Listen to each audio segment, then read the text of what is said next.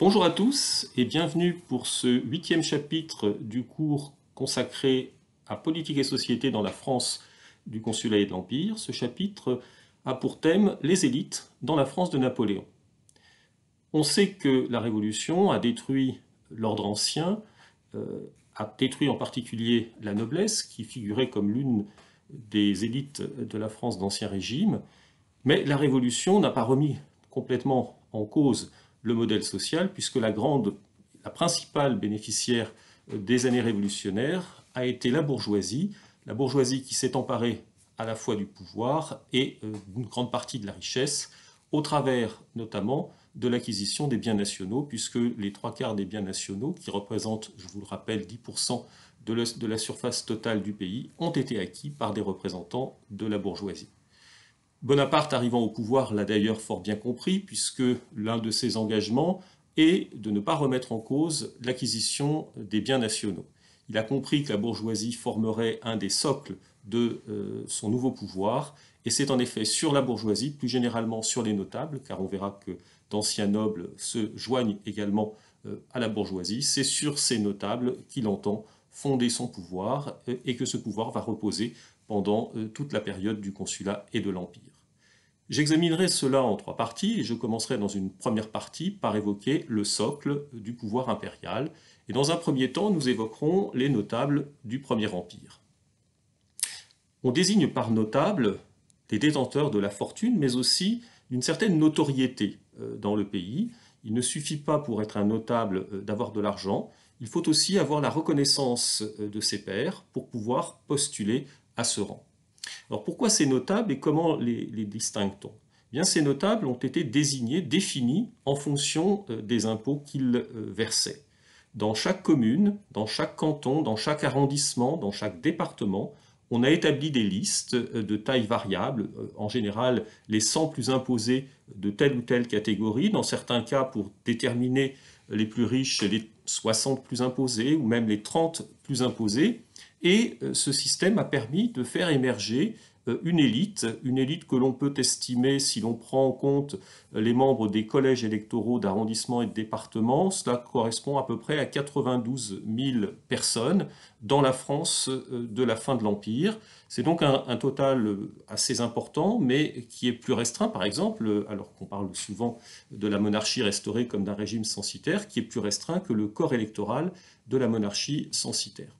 Un peu moins de 100 000 personnes donc, qui ont été étudiées, euh, notamment euh, par euh, deux historiens, Louis Bergeron et Guy Chaussinan-Nogaret, qui en ont tiré un volume au titre suggestif, Les masses de granit, allusion à la formule de Bonaparte qui avait annoncé qu'il forgerait son régime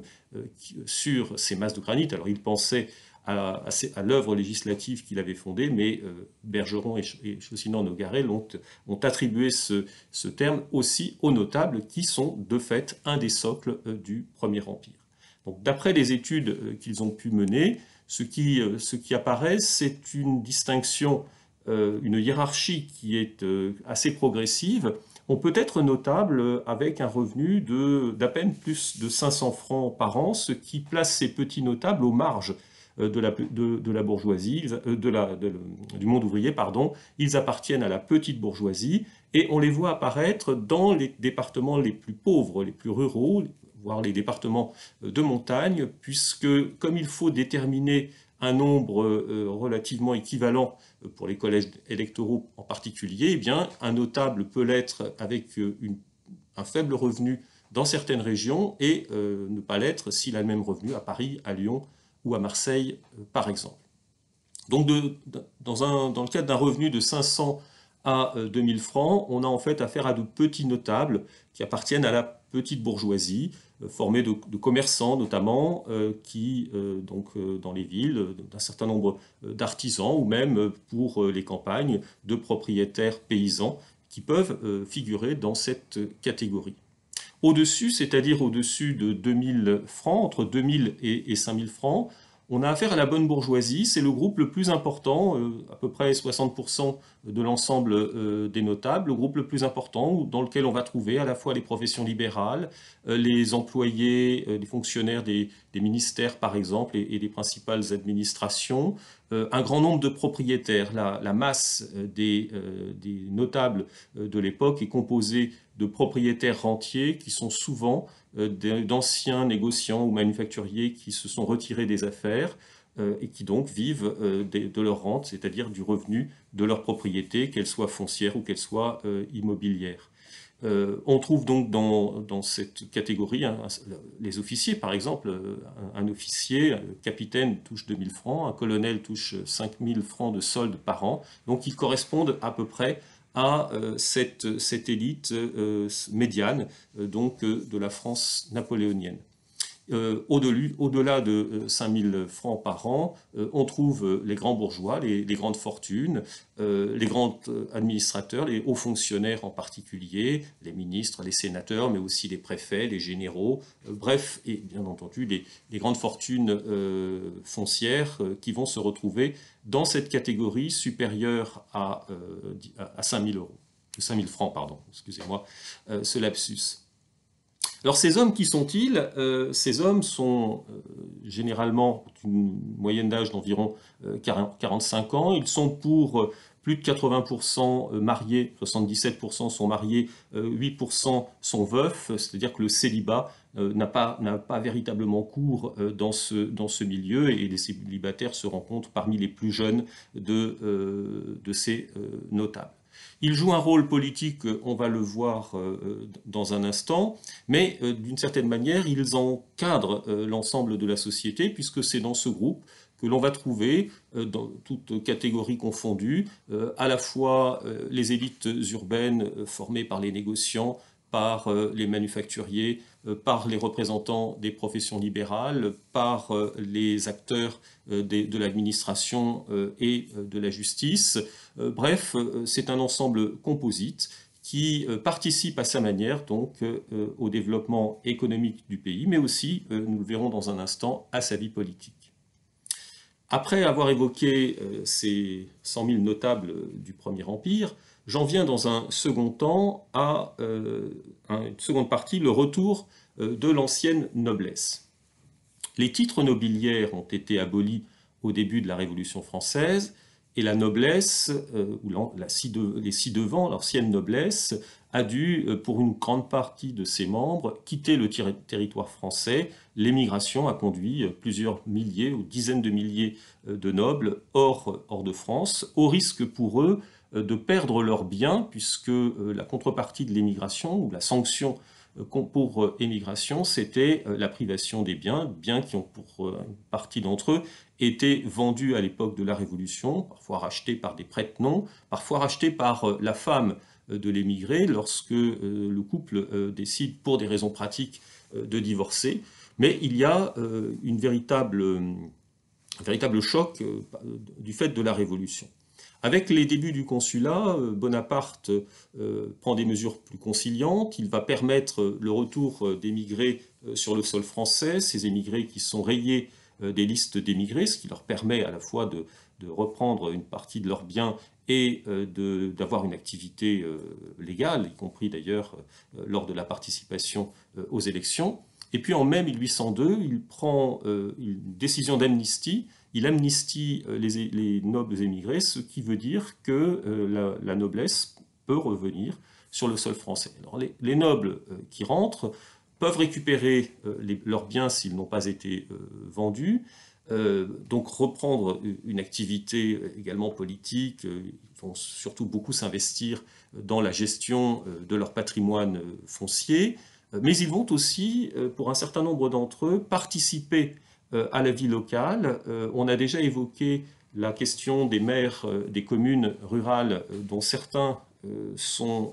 d'origine noble. C'est vrai à partir des années 1805-1806, et on sent euh, une accélération de ce processus euh, après 1808, avec une véritable volonté, au moment où l'Empire s'enracine, une véritable volonté de Napoléon euh, de faire appel à ces élites anciennes, naturellement ne reconquièrent pas leurs privilèges, mais tout de même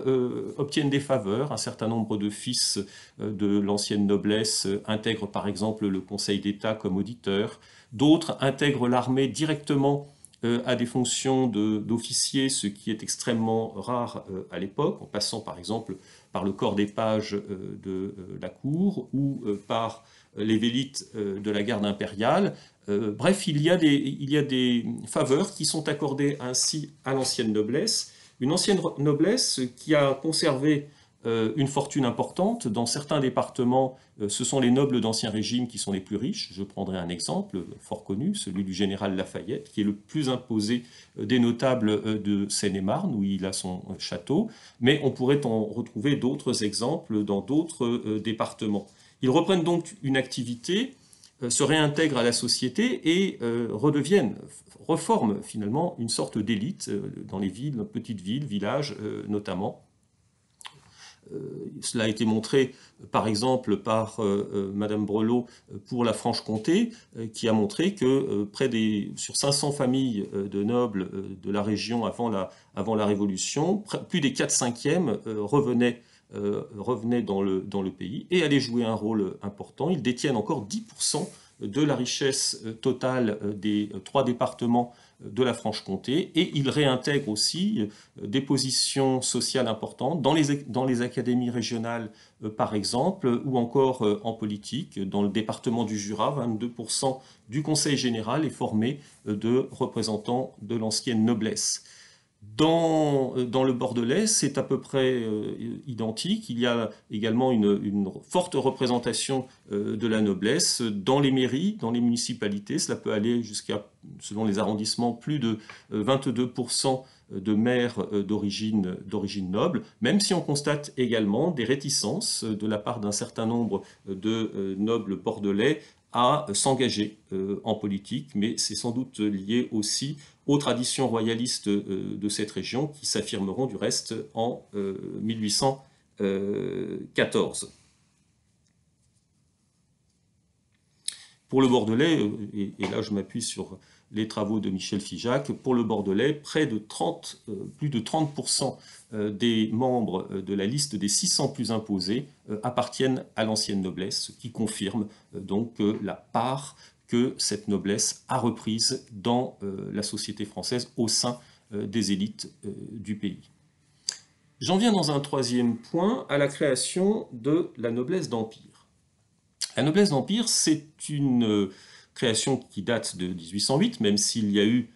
des antériorités, puisque dès 1804, avec la formation de l'Empire, on désigne des princes français euh, que sont les deux des frères euh, de Napoléon, puis progressivement le titre de prince sera attribué à des grandes personnalités du régime. On songe à Talleyrand, prince de Bénévence, une petite principauté dans le sud de l'Italie qui appartenait aux États pontificaux avant la Révolution. On songe à Berthier, euh,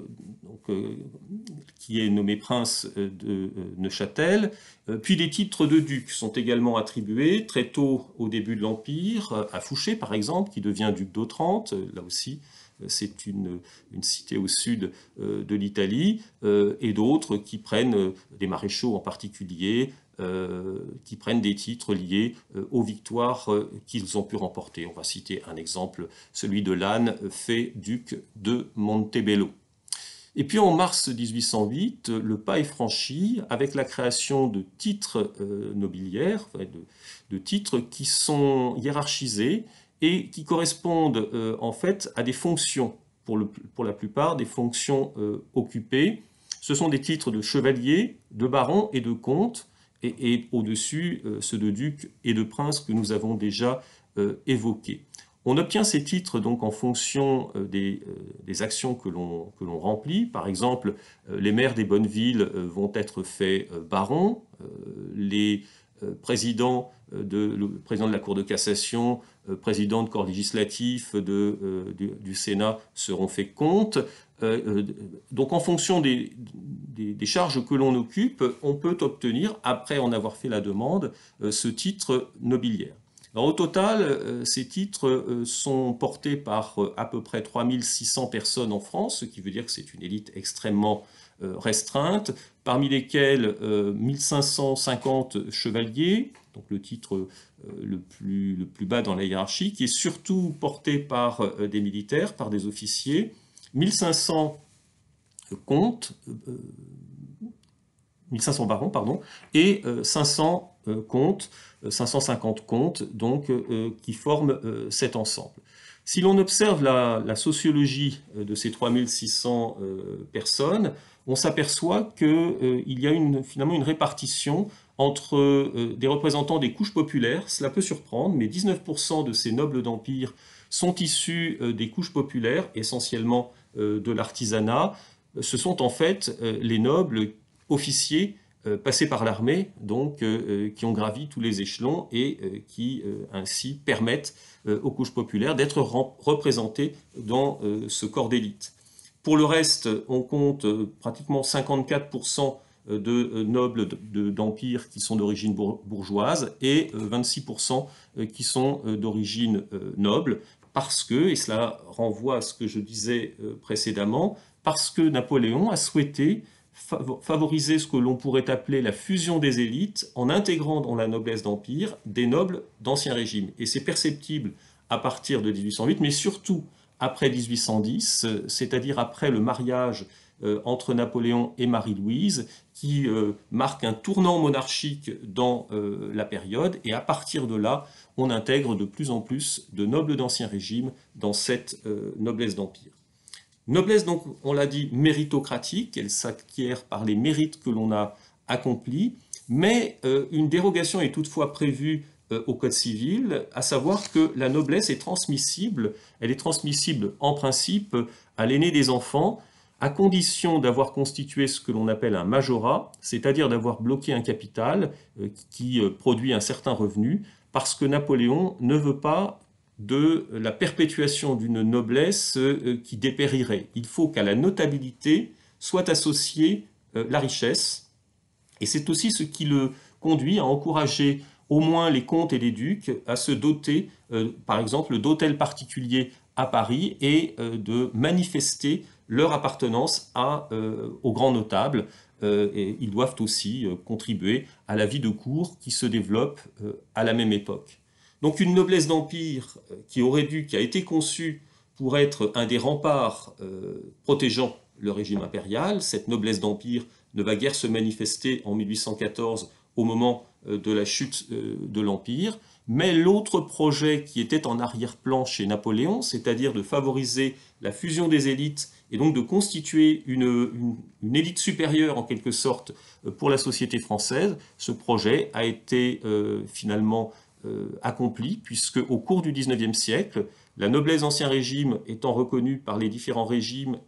et la noblesse d'Empire également, on va, on va voir se favoriser des liens entre eux, une endogamie, euh, des mariages entre représentants euh, de ces deux noblesses, d'autant plus que les nobles d'Empire, acquérant des hôtels particuliers par exemple, le font essentiellement dans les quartiers déjà occupés par l'ancienne noblesse, notamment le faubourg Saint-Germain sur euh, la rive gauche, même s'il occupe aussi et contribue au développement à Paris, par exemple, euh, du quartier de la Chaussée d'Antin. Nous en venons euh, dans une deuxième partie à quelques réflexions sur les élites et la vie politique. Et dans un premier temps, j'évoquerai la vie politique locale. Nous avons déjà évoqué la gestion municipale des communes rurales, Disons un mot euh, de euh, la manière dont s'organise euh, la gestion des villes et des grandes villes. Il y a ici une petite différence. Les villes comprises entre 2500 et 5000 habitants voient leur maire et leur adjoint nommés par le préfet. Au-delà de, 5000 habitants, le maire et, ses adjoints sont nommés par le premier consul, puis l'empereur.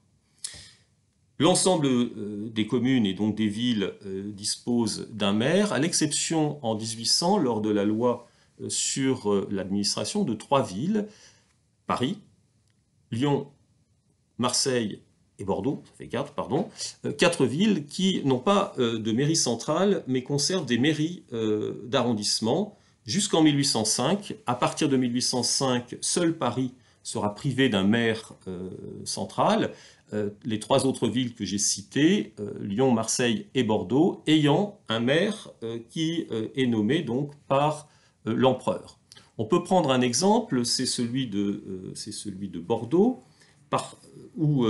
est nommé un maire qui s'appelle Laforie de Montbadon, qui va rester à son poste pendant 4 ans, jusqu'en 1809. Et en 1809, comme il est désigné pour le Sénat, il abandonne sa mairie au, profit d'un nouveau maire qui s'appelle Lynch, qui s'illustrera euh, sous le titre de baron, puisqu'étant maire euh, d'une bonne ville, euh, il a droit au titre de baron, qui s'illustrera en mars 1814 en arborant le drapeau blanc à la venue des Anglais, contribuant ainsi au ralliement du pays à la cause royaliste. Alors ces maires, on, peut voir leur activité euh, à travers le, conseil municipal. Euh, il doit faire face à un conseil municipal n'est pas toujours euh, au complet. Il y a un, fort absentéisme, mais qu'on retrouve dans la plupart des conseils municipaux. ces maires donc, sont entourés essentiellement de notables de la ville. Sur 82 conseillers municipaux qu'a connu la municipalité de Bordeaux entre 1805 et 1814, 46% étaient des négociants, c'est le poids du négoce, et notamment du négoce du vin euh, à Bordeaux, euh, mais aussi du, négoce lié à la, traite euh, négrière qui a été prolongée au moins au début du consulat. 22% sont des propriétaires et 19% des hommes de loi, donc ils, représentent cette bourgeoisie bordelaise qui s'illustre par ailleurs. On se bagarre plus ou moins, il y a des luttes de clans euh, entre euh, les uns et les autres pour euh, obtenir ces mairies, notamment ces, grandes mairies. L'exemple que l'on peut encore citer, c'est celui de Marseille, où en 1805, il faut désigner un maire, le premier maire de la ville après donc la réforme qui vient d'être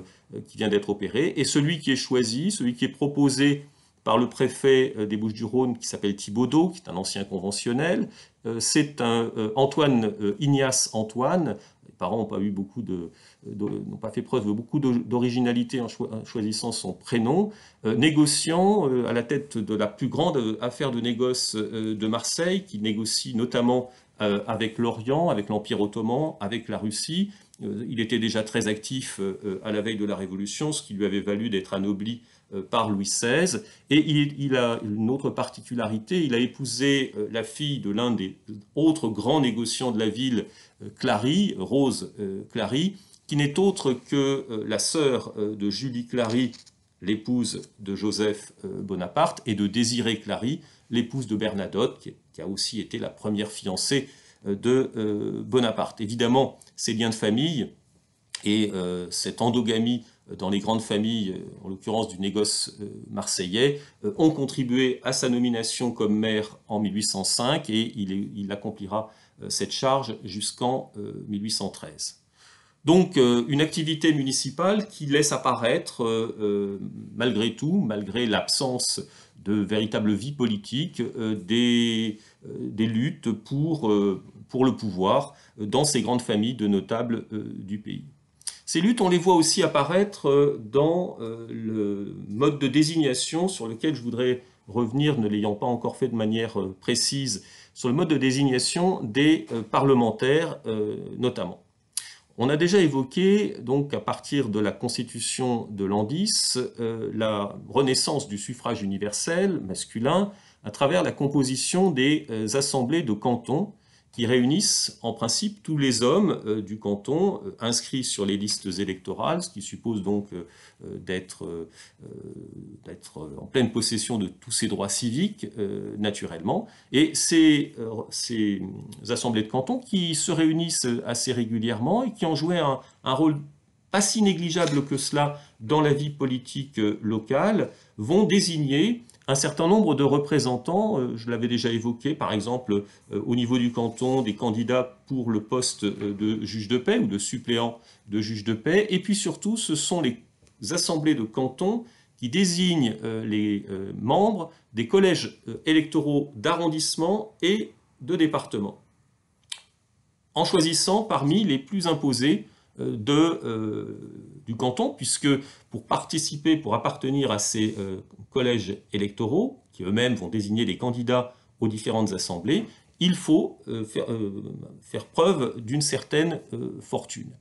Alors le, nombre de ces, des membres de ces collèges n'est pas négligeable, entre 120 et 200 pour les collèges d'arrondissement, entre 200 et 300 pour le collège de département, sachant que un électeur qui siège au collège d'arrondissement ne peut pas siéger en même temps au collège de département, ce qui fait que dans un département où il y a euh, quatre arrondissements, cela fait un total de 1200 euh, notables qui participent à cette vie politique locale effectivement euh, très encadrée, mais qui a tout de même fonctionné, et avec finalement des ambitions chez les uns et chez les autres que l'on peut voir apparaître, et je prendrai ici un exemple, je vous rappelle que les collèges d'arrondissement désignent deux candidats euh, pour chaque poste euh, de député au corps législatif et deux candidats pour chaque poste de tribun.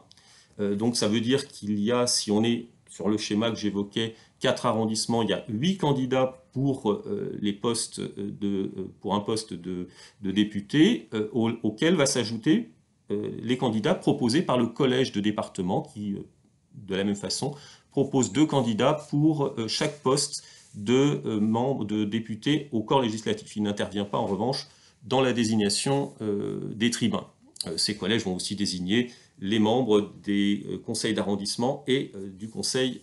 général. Alors je vais prendre un exemple pour éclairer ce propos, c'est l'élection de Riffard Saint-Martin, dont j'ai déjà parlé. Il a été député à la Constituante, député à la Convention, député au Conseil des 500 euh, à l'époque du directoire. Il est originaire de, l'Ardèche, dont il est le, représentant. Et euh, après s'être rallié à Bonaparte au moment du 18 Brumaire, il a fait partie du corps législatif à partir de 1800. Et il a aussi fait partie des députés euh, au corps législatif qui ont été victimes de l'épuration de 1802.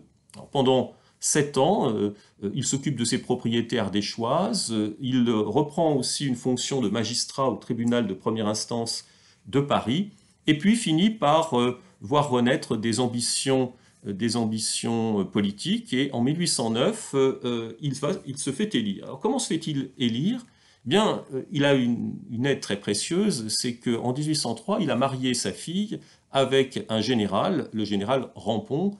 qui est par ailleurs sénateur. Et ce général Rampon, en tant que sénateur, va présider en 1809 le collège de département de l'Ardèche, tandis que Riffard Saint-Martin parvient, lui, à se faire désigner comme président du collège euh, d'arrondissement euh, de son arrondissement Tournon.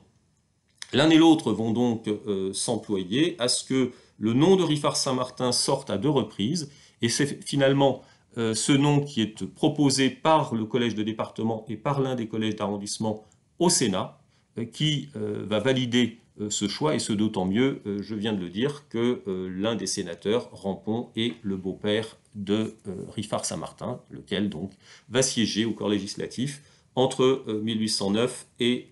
1814. Donc vous voyez ce fonctionnement un peu complexe, qui, s'appuyant sur le suffrage universel, en réalité ne fait émerger à tous les niveaux que les principaux notables de l'arrondissement, du département et donc euh, du pays, ce système a fonctionné euh, jusqu'à la fin de l'Empire et fonctionnera du reste à nouveau, euh, dans des conditions un peu différentes, à l'époque des 100 jours, puisque de nouvelles élections sont alors organisées. Je voudrais dans un second temps évoquer la sociabilité urbaine. Quand on parle de, de l'Empire, on songe surtout à l'interdiction euh, des associations, à l'interdiction des réunions, à la faible liberté politique euh, qui existe, mais il y a néanmoins des lieux, ce que euh, Maurice Abgulon désignait sous le terme de lieux de sociabilité, qui permettent la rencontre, en l'occurrence des hommes, des lieux qui ne permettent pas en principe de parler de politique, mais où on discute, entre autres, et pourquoi pas de politique. Alors ces lieux sont divers, on peut citer tout d'abord les cafés. Les cafés, qui jouent un rôle très important, notamment euh, dans la société urbaine, et qui sont souvent aussi le lieu de réunion de ces, euh, associations que l'on appelle plutôt que l'on désigne plutôt sous le nom de cercles euh, dans certaines régions, que l'on va appeler sociétés d'hommes dans d'autres régions, je pense en particulier au centre-ouest et au centre de la France, Ce sont des réunions d'hommes, des, hommes qui se réunissent donc régulièrement pour prendre un repas ensemble, pour jouer dans un certain nombre de cas, mais aussi pour discuter. Discuter de politique, c'est en principe interdit, mais la, surveillance n'est pas toujours extrême, même si les cafés et ces sociétés, ces cercles peuvent être euh, contrôlés. Alors c'est plus facile quand c'est dans un lieu public que euh, lorsque la réunion a lieu euh, dans un lieu privé, mais le contrôle est, fréquent, la police intervient ou en tout cas s'appuie sur des mouches, comme on dit, c'est-à-dire des mouchards, des, personnes qui vont renseigner les autorités de la police sur des activités de telle ou telle personnalité. Et donc, surveiller ces clubs. Alors ces, clubs, plus exactement ces cercles, qui, fonctionnent sur le modèle anglais euh, des, clubs et qui sont relativement actifs dans euh, la société française du temps, bien que euh, cette activité soit moins développée qu'elle ne le sera après la chute de Napoléon. Cette sociabilité, donc, elle, elle favorise malgré tout une certaine, une certaine vie politique, euh, cette sociabilité, on la retrouve aussi dans une autre association dont je voudrais dire euh, quelques mots euh, dans un troisième point, qui est la franc-maçonnerie. ce troisième point est intitulé Élite et franc-maçonnerie. La franc-maçonnerie, née au XVIIIe siècle et qui a connu un très grand développement à la fin du XVIIIe siècle, attirant à elle nombre d'hommes des Lumières qui allaient contribuer euh, à la, Révolution française, cette franc-maçonnerie a été euh, très largement décapitée euh, par la, Révolution et en, particulier par la période de la Terreur. Le grand maître du Grand Orient, qui était le, duc d'Orléans, Philippe d'Orléans, dit aussi Philippe Égalité, cousin du roi, régicide, il était membre de la Convention, il a été guillotiné et l'activité des loges à partir de 1793-1794 94 cesse euh, presque complètement et euh, on ne voit le redémarrage des activités euh, maçonniques qu'à partir des débuts du directoire. C'est l'un des, maçons, l'un des, dignitaires du Grand Orient de l'époque d'Ancien Régime, Retier de Montalot, qui va reconstituer la franc-maçonnerie à partir du directoire, mais il part sur des bases extrêmement faible, puisqu'en 1796, on ne compte plus que 16 loges en activité en France.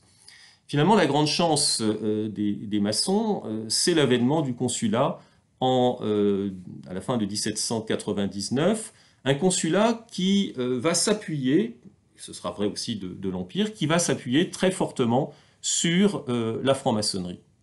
D'abord parce que dans l'entourage de Bonaparte, nombreux sont les maçons la question se pose encore de savoir si euh, Napoléon Bonaparte lui-même a été euh, initié. C'est probable euh, qu'il ait été initié en Égypte. En tout cas, les maçons de l'époque le considéraient comme un des leurs. Mais de toute manière, s'il a été initié en Égypte, il n'a jamais véritablement été actif dans la franc-maçonnerie, puisque arrivé au pouvoir, il a considéré que son rôle était d'être en quelque sorte au-dessus des partis, et il a refusé toute fonction dans l'organisation maçonnique, en particulier euh, la charge de grand maître du Grand Orient que lui proposait en 1803 Retier de Montalot. Charge qui d'ailleurs va échoir à son frère aîné, Joseph, tandis que Louis est euh, grand maître adjoint, ce qui montre euh, l'emprise de la famille des Bonaparte sur la franc-maçonnerie. Le père, Charles, était maçon, les deux autres frères, Lucien et Jérôme, sont également initiés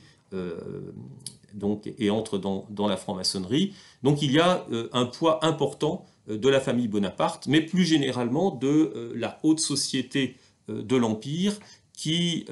donc, qui investit ces, loges. Près de 16 maréchaux, par exemple, sur 24, ont, été,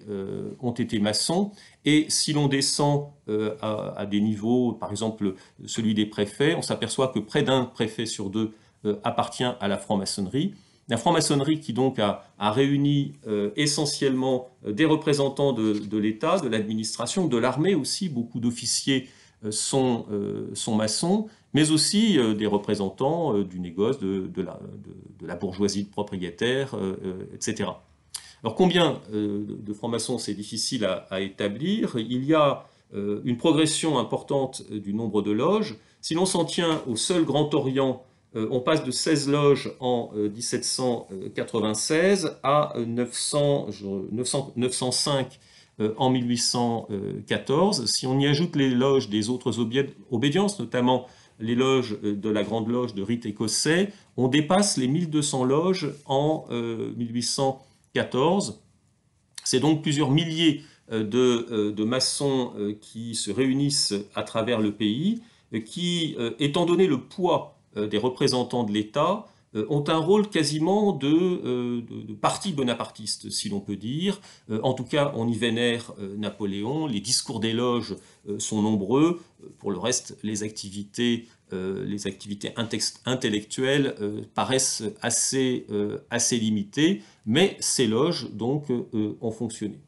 Napoléon a toutefois, même s'il a laissé se développer la franc-maçonnerie, a toujours eu une certaine méfiance à l'égard de la franc-maçonnerie. Il doit y voir un risque de déstabilisation de l'État. Et du reste, au moment de la législation sur les réunions, qui sont limités par le code pénal de 1810 à 20 personnes, il refuse d'accorder un statut dérogatoire aux loges maçonniques qui devront donc,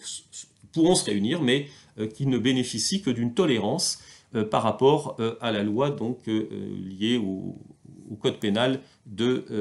1810. D'une certaine manière, Napoléon n'avait sans doute pas totalement tort de se méfier de la franc-maçonnerie, où l'on verra apparaître à la fin euh, dans l'Empire des poches de résistance euh, avec euh, notamment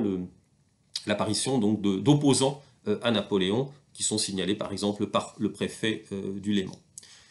Bah, la particularité de la franc-maçonnerie, enfin, c'est d'être finalement essentiellement composée de représentants de la bourgeoisie. Il y avait, avant la Révolution, des nobles d'Ancien Régime et même des membres du clergé. Ces deux catégories disparaissent. Il y avait aussi un nombre non négligeable d'artisans on les retrouve beaucoup moins dans euh, la franc-maçonnerie euh, impériale. Par exemple, si l'on prend le cas des 2145 euh, francs-maçons initiés en Normandie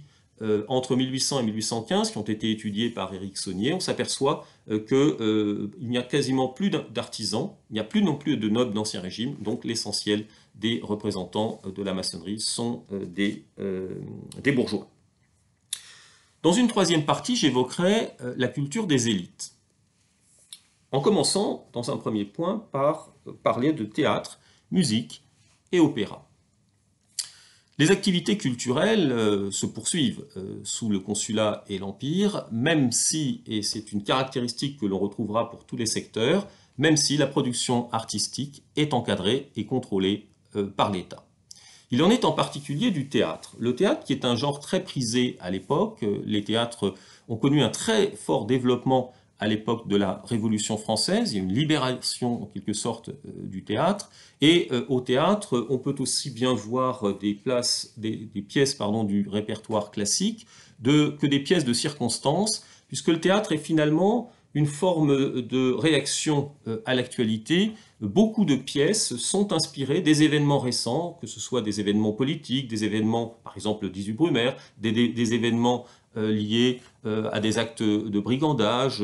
par exemple l'attaque de, une attaque de diligence, ou tout simplement des, faits liés à, des campagnes militaires. On va monter des pièces à propos de la campagne d'Égypte, pour ne citer que, que cet exemple. Le théâtre est donc en, pleine vitalité,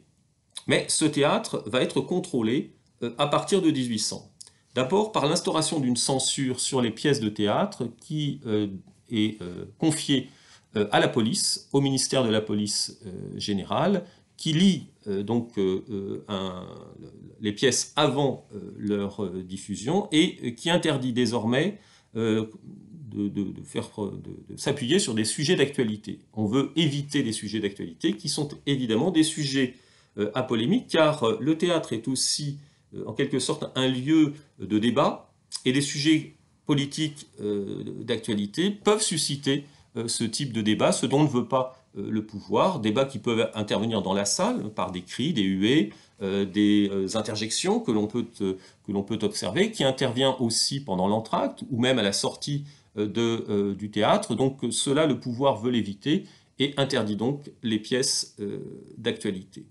Censure qui, d'une certaine manière, est plus réduite qu'on pourrait l'imaginer, tout simplement parce qu'il y a une autocensure, si bien que 7% des pièces seulement, entre 1800 et 1810, seront censurées par le département qui est chargé de cette activité. En 1806, un nouveau tour de vis est,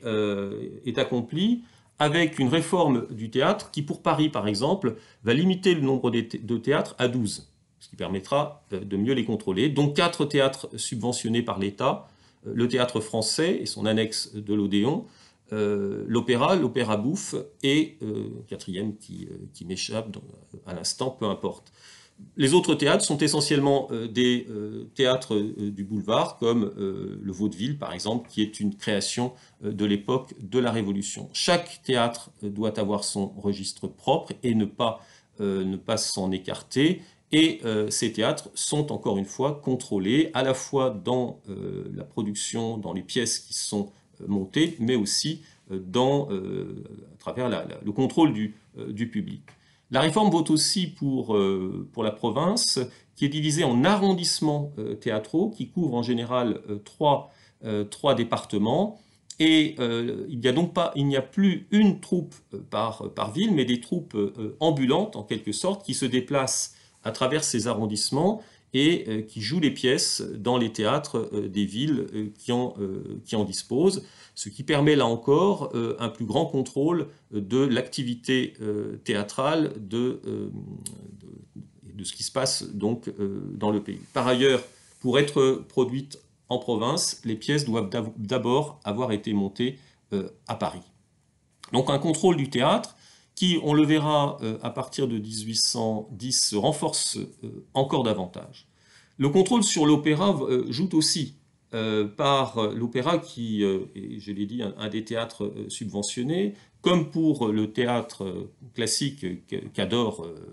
Napoléon Bonaparte, il s'y rend très fréquemment, il se rend aussi à l'opéra il s'y est rendu par exemple 14 fois entre 1810 et 1814, euh, sachant qu'il n'est pas très souvent à Paris euh, au cours de cette période. Et comme lorsqu'il arrive au, théâtre, il arrive en général en retard à l'opéra et les, acteurs, les chanteurs rejouent l'acte dont il a manqué une, partie et en général son arrivée est saluée par des ovations, des vives l'empereur, euh, car venir au théâtre, venir à l'opéra, c'est aussi euh, une manière de se montrer en majesté et de montrer aussi euh, l'intérêt que le pouvoir accorde à,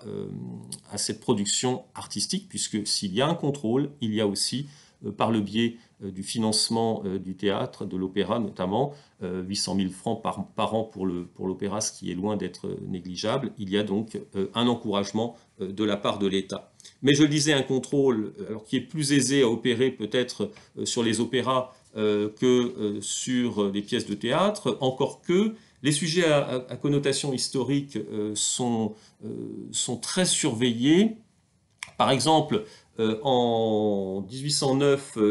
un opéra, Fernando Cortés, devait être monté, il devait manifester, donc le thème c'est la conquête du Mexique par l'Espagne, euh, mais on s'aperçoit alors qu'on est en pleine guerre d'Espagne, que ce n'est pas forcément une bonne idée que de valoriser un héros espagnol, et donc euh, l'opéra est retiré euh, de la programmation. Cette, cette, manière de faire, on, la retrouve aussi au théâtre. les États de Blois, de Renoir, pourtant un censeur proche du régime, membre de l'Académie française, est également censuré en 1809 euh, parce qu'on ne veut pas euh, mettre en avant les guerres de religion. Bref, un contrôle sur euh, cette production artistique qui malgré tout se développe, comme se développe la musique, avec la renaissance des concerts, dans, notamment des concerts du, conservatoire, mais aussi des concerts privés, des concerts qui donc retrouvent une certaine faveur, le public est au rendez-vous, public qui va aussi euh, donc s'intéresser aux, aux, nouveaux, enfin, aux musiciens qui reviennent en France. Je pense par exemple à, à après un, long, un, long, périple européen. Qui, qui, découvre des, des, artistes italiens comme Paesello par exemple, qui va devenir maître de la chapelle impériale.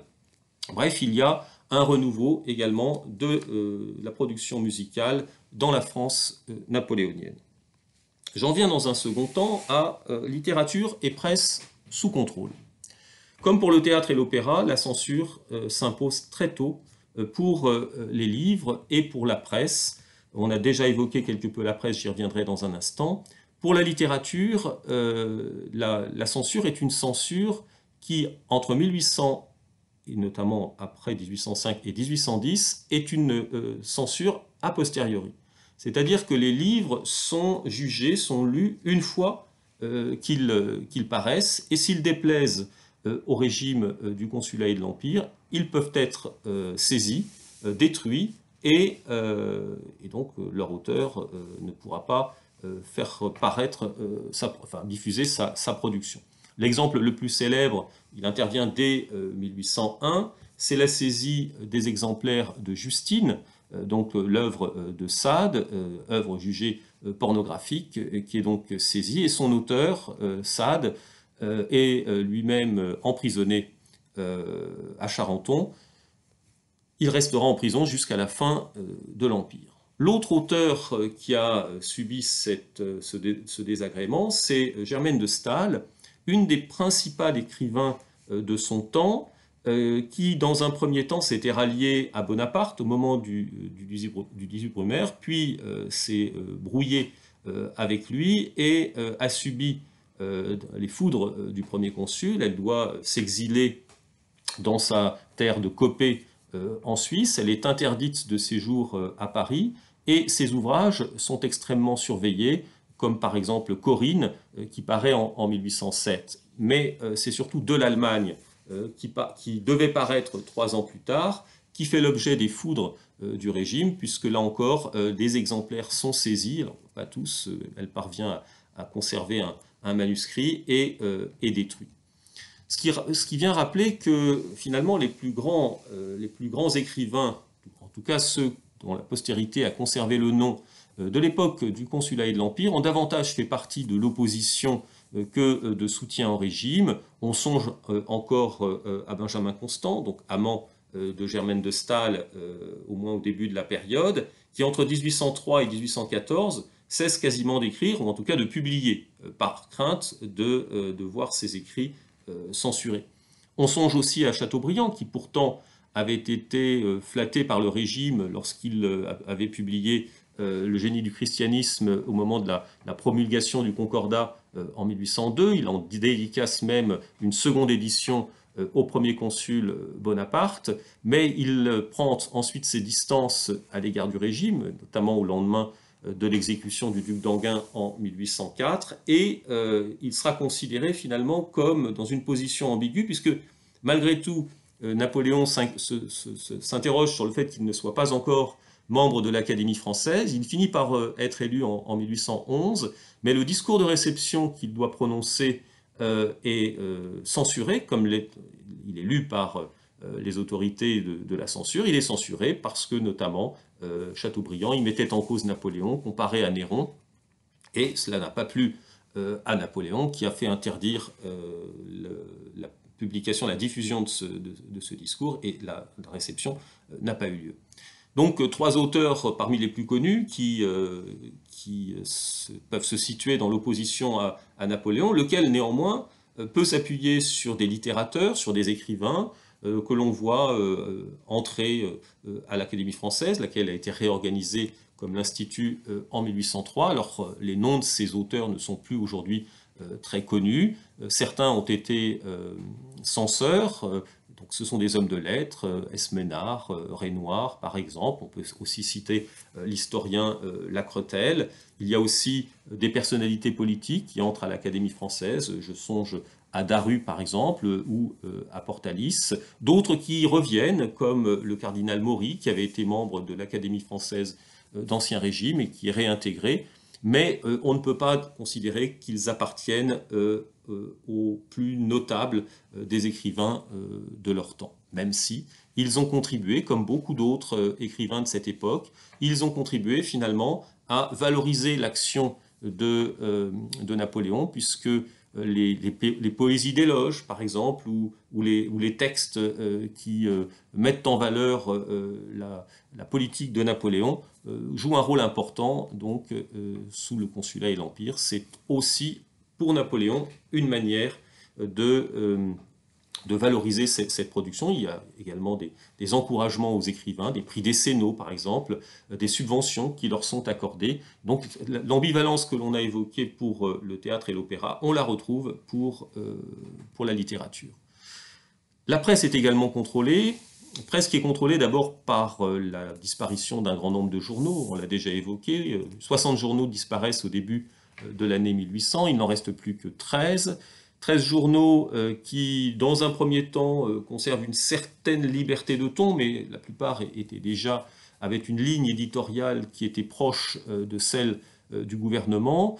Ces journaux vont être de plus en plus contrôlés à partir de 1805, avec l'instauration d'une censure, c'est-à-dire que chaque journal doit avoir un censeur qui lui est attitré et qui veille, qui est une sorte de rédacteur qui veille, qui lui-même publie des articles et veille à ce que euh, les articles qui, soient, qui sont parus dans le euh, journal, qui paraissent dans le journal, soient conformes à la ligne euh, du régime.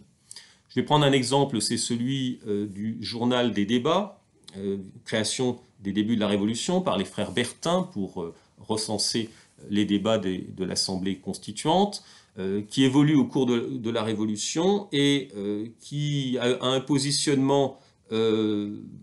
mitigé euh, sous, le consulat. Il, euh, ces, rédacteurs et, les frères Bertin eux-mêmes euh, en font partie, sont plutôt membres de la, la mouvance néo-monarchiste. C'est dans le,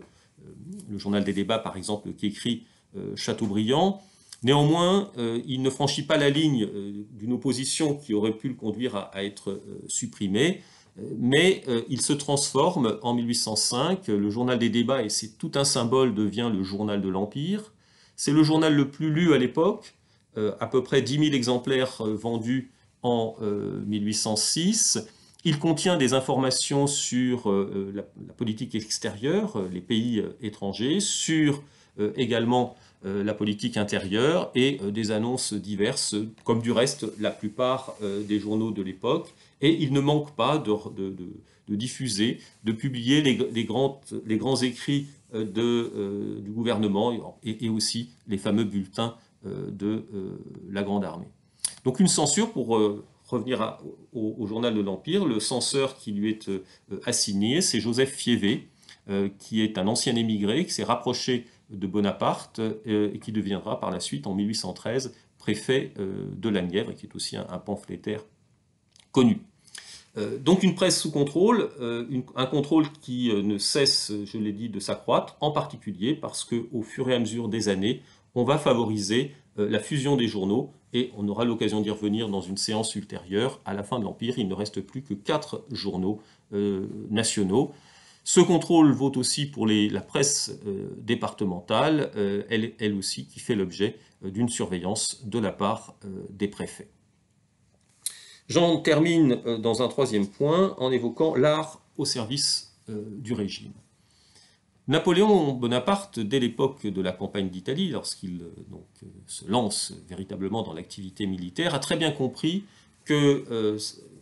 agir était bien, mais le faire savoir était encore mieux. Il va développer dès cette époque des journaux militaires, mais il va aussi mettre en scène sa propre image en acceptant de poser pour des peintres et euh, pour des sculpteurs qui vont euh, l'identifier comme le général en chef, le euh, principal donc responsable des victoires remportées en Italie. Parvenu au pouvoir, il n'aura de cesse que de valoriser son, action, et il a compris que dans un pays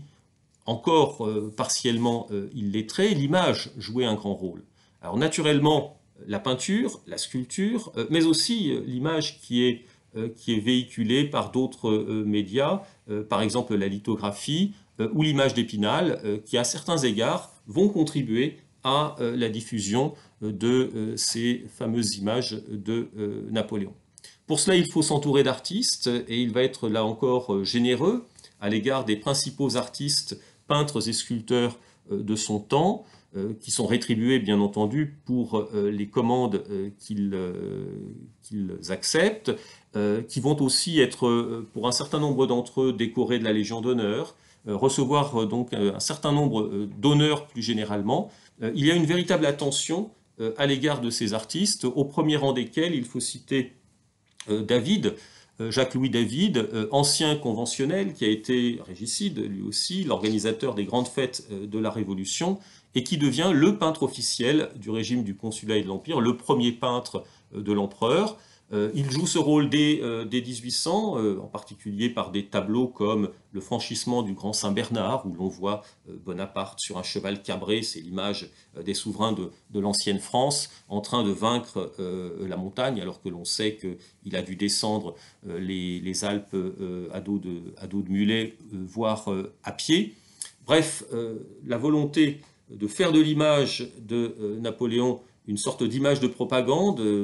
euh, qui, valorise euh, son, règne est, tout à fait, à fait évidente. Les disciples de David vont également s'illustrer. On pense à, Gérard, qui sera le peintre des, membres de la famille impériale, à Gros, auquel on doit notamment le fameux, tableau de, du franchissement du pont d'Arcole, qui est là aussi une manière d'instrumentaliser euh, l'événement tout à fait exceptionnel puisque euh, on sait que euh, Bonaparte a d'abord chuté dans, la rivière et qu'un certain nombre des officiers qui le, le précédaient ont été tués lors de l'assaut final. Mais ce que l'on veut retenir, c'est cet officier général presque seul sur le pont, drapeau au bout du bras, qui part à l'assaut et qui est en quelque sorte le, symbole de ce, que, de, ce chef qui va s'emparer également du pouvoir. À gros, on doit aussi les pestiférés euh, de Jaffa, montrés au salon euh, de 1804, et qui est euh, une manière aussi d'expliquer, au moment où Napoléon devient empereur, que ce dernier peut soigner les soldats. On, fait allusion ici aux pestiférés de, la campagne de, Syrie, presque comme les rois d'Ancien Régime. Donc une peinture de propagande par des tableaux, on peut encore citer le tableau du couronnement de David, qui sont montrés dans le fameux salon. Ce salon, c'est une sorte de salon d'art contemporain, si l'on peut dire, qui se réunit, qui, est organisé tous les deux ans à partir de 1800 au Louvre, et euh, qui permet de montrer la production contemporaine des artistes, euh, écrivains, euh, pardon, peintres et sculpteurs. en 1812, par exemple, 1000 œuvres différentes sont montrées, qui sont dues à plus de 400 artistes. Donc c'est un des grands moments de la saison artistique qui permet aussi à ces artistes de, euh, euh, que leur toile ou leur sculpture soit commandée euh, par l'État ou que des particuliers les achètent. Et avec le, développement de la noblesse empire notamment, avec ces grandes fortunes qui s'établissent chez les, maréchaux en particulier, chez les princes, il y a des, besoins, il y a aussi des, liquidités pour acquérir ces, ces, œuvres d'art. Et donc il y a une modification euh, on pourrait presque dire un embourgeoisement du marché de l'art euh, qui se confirmera au cours du XIXe euh, siècle. L'art, c'est aussi l'encouragement à la construction de monuments à travers les villes. Je l'avais brièvement esquissé, je n'y insiste pas, mais de l'arc de triomphe du Carrousel jusqu'à la colonne Vendôme, euh, en passant par le lancement euh, de l'Arc de Triomphe de l'Étoile en 1808, il y a aussi une volonté euh, de s'appuyer sur les grands artistes pour favoriser la mise en scène du pouvoir et la valorisation, en l'occurrence, des batailles, des victoires militaires remportées par Napoléon. Donc vous le voyez, une, une culture, un monde culturel qui a fonctionné sous l'Empire. Il y a eu un encouragement de la part de l'État, mais aussi euh, qui, a, pu se développer parce qu'il y a un public, j'allais dire un nouveau public, en tout cas un public qui a évolué euh, à la fois dans sa culture, même si celle-ci reste euh, très classique, et dans son approche de euh, l'acquisition de l'œuvre d'art et, ce public, il est essentiellement, même, pas, même si ce n'est pas exclusivement, composé de représentants des notables qui forment, comme je le disais en commençant, le socle du pouvoir impérial.